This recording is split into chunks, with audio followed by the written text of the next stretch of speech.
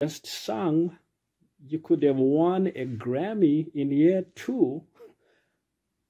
You could have been the next Beyonce or the next whoever, whatever singer you love. Um, so I want you to spend time right now identifying your billionaire talent and your billionaire path.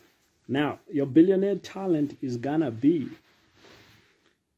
what's your great talent that a God given talent that's just the greatest in your life that makes you, with almost no, no effort, the best at that kind of thing. Like if you got a talent for computer programming, a talent people got, a lot of people got a talent for cooking. You're a great cook.